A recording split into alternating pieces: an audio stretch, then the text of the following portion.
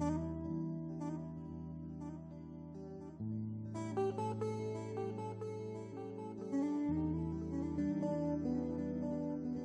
Всех приветствую. Продолжаем знакомиться с творчеством художников, их автобиографии. Хосе, Романа, Гутеррес, Солана и Гутеррес Солана. Испанский художник, гравер и автор. Обычно он подписывал свои картины как Солана. Обычно его считают экспрессионистом, но на его стиль сильно повлияли Эль Грека, черные картины Гои и работы Веласкес. Родился 28 февраля 1886 года в Мадриде. Его отец родился в Мексике, приехал в Испанию после получения наследства от своих родственников, женившись на двоюродной сестре. Первые уроки он брал у дяди Хосе Диэс Пальма, который был профессором рисования в университете Саламанки. С 1900 по 1904 год учился в школе изящных искусств Сан-Фернандо, а в 1906 получил почетное упоминание на национальной выставке изящных искусств. Совершал частые поездки в Ла-Манчу, Арагон, Андалусию, делая наброски и заметки во время посещения карнавалов, кладбищ, больниц, борделей, черпая большое вдохновение в толпах на мадридском рынке Эль Растро. Хорошо обеспеченный деньгами от своего отца, он брал уроки пения, посещал театры и разил себе большую страсть к боям быков. В какой-то момент он стал ассистентом в квадриле команде Торрера. Бомбе. Я цитирую Википедию. В конце концов, в 1917 году поселился в Мадриде, где часто посещал парки, музей Прада, Национальный археологический музей. Общался с Рамоном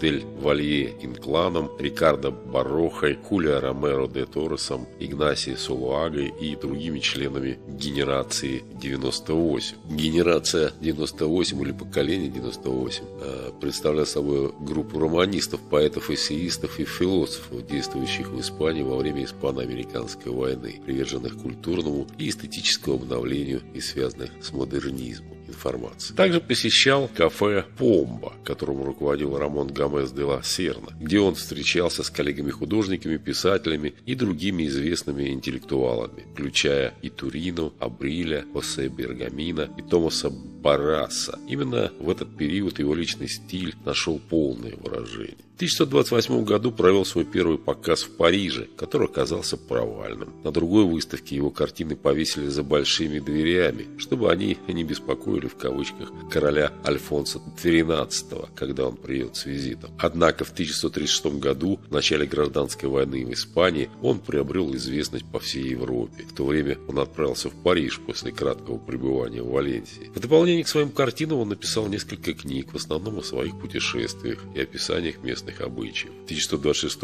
написал роман Флоренсио Корнеха. После войны вернулся в Мадрид, где и оставался до своей смерти. Умер он 24 июня 1945 года. Ну вот так вкратце о испанском художнике и гравере Хосе Романа Гутьеррес Салана и Гутьеррес Салана. Данные из Википедии. Пока-пока, до свидания. Смотрим работу.